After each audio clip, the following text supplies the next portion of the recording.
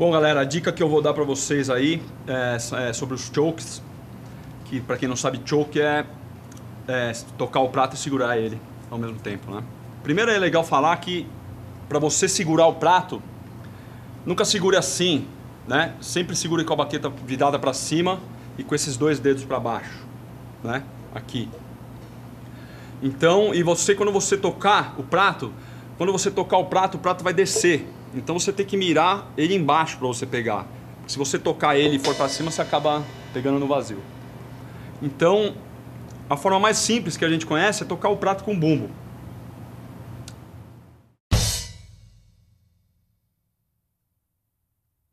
Outra forma também que tem com a caixa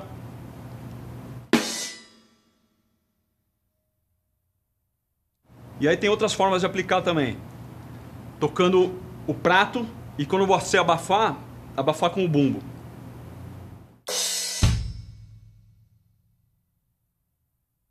E a mesma forma com a caixa.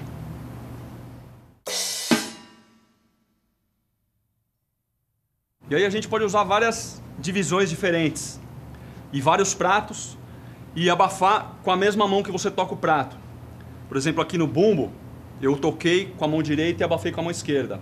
Com a caixa, eu toquei com a mão direita e, e toquei o prato com a mão esquerda e abafei com a mesma mão. Então é legal depois treinar, abafar com a mesma mão, né, que é o que é o mais difícil. E as outras divisões a gente pode fazer também mais, mais rápidas, né?